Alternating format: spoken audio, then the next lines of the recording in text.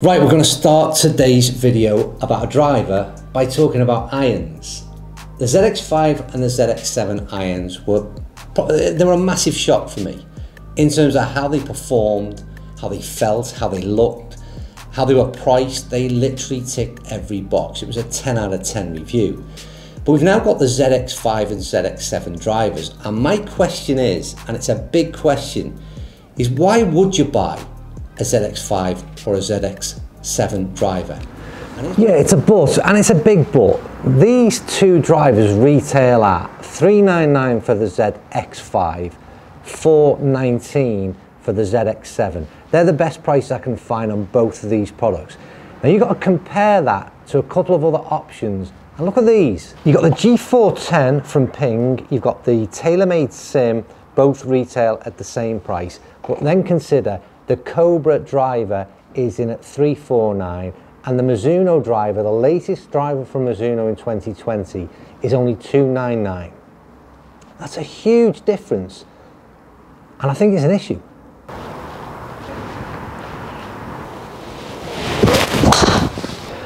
And then there's the issue of shaft options. If we look, this is a Srixon Fit cart. We've got a fair few options on the irons, but we've got two, four, six, seven. One of them is already shafted up one of their heads. So you've got eight choices of shaft in terms of driver option. And compare that to some of these others. I think a standard cart for Callaway is 14 different shaft options. That'll be similar for TaylorMade. Same for Mizuno and not too dissimilar for Titleist. With a camera placed there, you need to be either extremely confident or extremely stupid. And uh, well, I'm not too sure which one it is, but we're having it the camera anyway.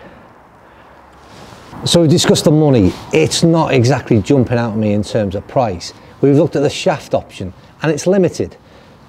You're then talking about how it looks in terms of shelf appeal. And I think for me, the ZX5 and 7, they're not really jumping out at me. It doesn't say a great deal. It doesn't do it doesn't do a great deal at all to be quite honest with you but that's a very personal choice and for others maybe it does appeal but what I'm not particularly interested in is the fact that it doesn't even give off that feel of a quality made product Nothing like, again, what it does when I look at the irons by comparison.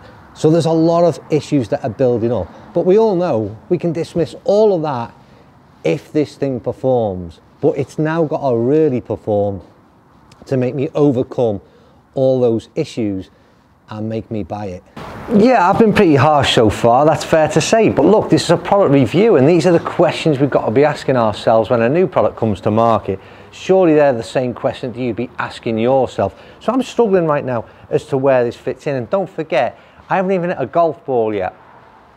But I'm looking at the reasons to why I want to try it, why I want to have a go, why I want it to perform so well. I'm going to start with the first positive, and there could be a few more to follow. But from the top line, I love the carbon crown they've got. It is, again, very, very similar to others that are out there. It almost seems to have followed suit. I could place a few alongside this and they would look very, very similar. So it's nothing new again, it's nothing too innovative, but it does look good. Gloss finish, sits nice at address. I'm going to hit the first ball and I'm going to see what I think of in terms of how this thing sounds. And let's hope we can continue with some positives.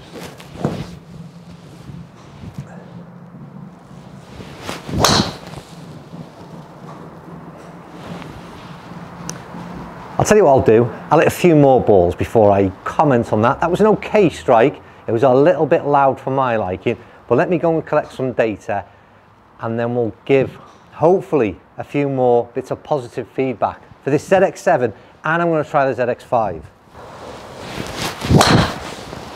It's a much better ball. Decent ball flight. We could be about to turn a corner. Let's see. Right, in terms of technology and a marketing story, it's kind of what I like about Srixon, but what I also don't like. There's no major story. Now, I know a lot of people can get upset by the kind of big grand marketing claims that a lot of brands make. So on that side of the coin, I suppose you can say, well, they kind of underplay it, but at the same time, they don't really sell the product to me that greatly. So it's a kind of like, it's very underwhelming again. The most exciting part of their story, if you like, is the rebound frame. They're claiming it to be, as everybody does, incredibly fast off the face rebound frame. Obviously, is sort of uh, very much self-explanatory. There's a different weighting system between the two club heads and the ZX5 is the more forgiving of the two. The ZX7 the lowest spinning and clearly aimed at supposedly two different players.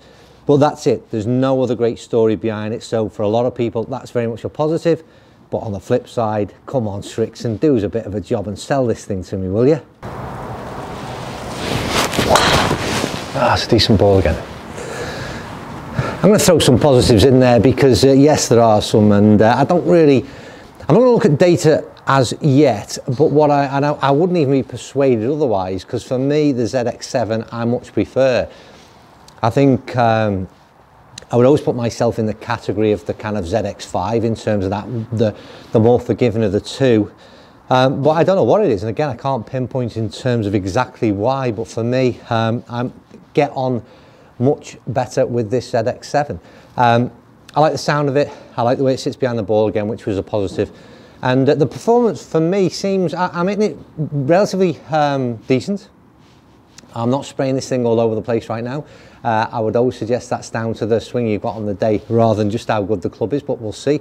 And uh, the ball is going out there, but I think that's enough. Let's get down to dry ball data and see if the, the performance is good enough to make me overcome some of the issues that I've already highlighted and uh, we'll see.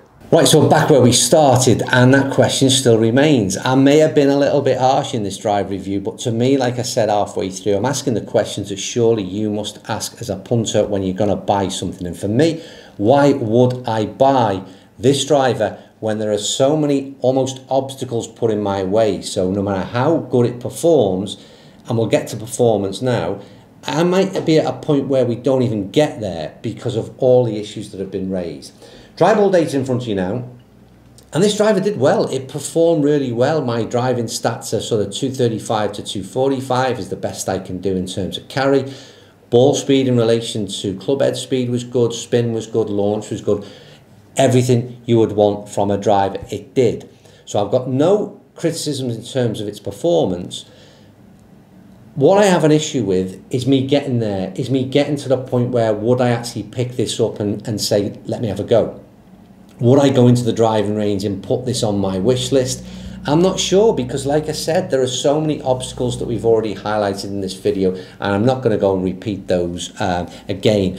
But many of those things are subjective. I might have it completely wrong and for you the looks might be good, the price point might be good. Like I said, there are may, many, be many things why you might uh, think differently than I did. But for me, it's such a disappointment when the ZX5 and ZX7 irons were just so good, they've fallen away short with this driver offering, for me at least this time round. But the question is, um, if you've bought the driver or you're considering buying the driver, then tell me why you did or why you're considering it. Stick those comments down below and uh, we'll get a bit of a conversation going. Anyway, as ever, thank you for joining me. Appreciate your time and uh, I'll see you all soon.